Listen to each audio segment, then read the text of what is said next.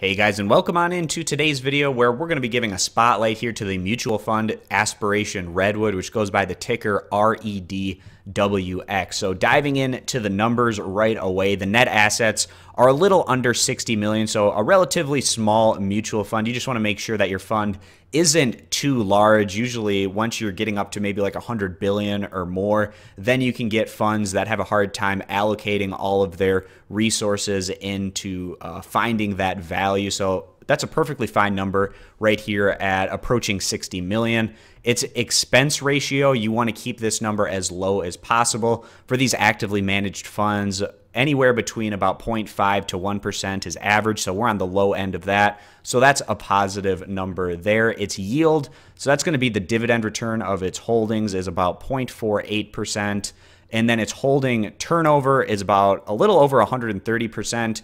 With these actively managed funds, usually right about 130% is average. The higher the holding turnover, the more actively managed that it is, a bit more risky that it is. So we're right at about average there with that turnover percentage. Now, to dive in to the holdings of this fund, again, it's a growth type of mutual fund, so not a big surprise to see pretty much all of the uh, composition here is in stocks, about 98 and a half percent compared to one and a half percent that's in cash. Looking at the sector weighting percentages, some of the bigger sectors here are going to be financial services, healthcare, and technology. And those are also sectors that you would expect to see within a growth type of mutual fund.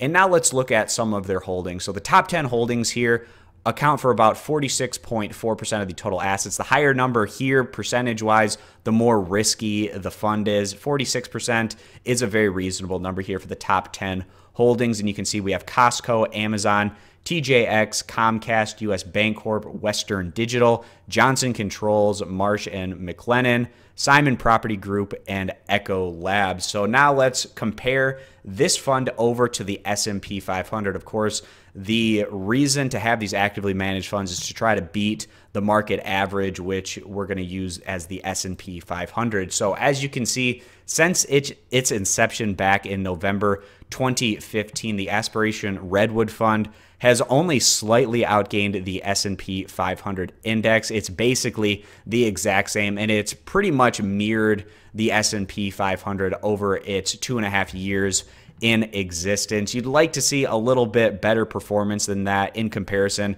to the S&P 500, but a lot of times with these funds, you will see them mirror pretty closely to the S&P 500 index overall. And considering with these actively managed funds that you're generally uh, paying a higher percentage fee on your total assets on a year-to-year basis. That means if you just invested your money in the S&P 500 index, you're going to be paying lower expense ratios and making more money in the long term. So in this case, the S&P 500 would probably still be your better option, at least during this two and a half year period than aspiration but still this aspiration redwood fund it's very reasonably priced in terms of its net expense ratio and they try to focus on particular companies that are forward looking and diversified. So if you like their mission, then that's maybe another reason that you might want to put your funds within Aspiration. They have a minimum deposit of $100. So you can get into this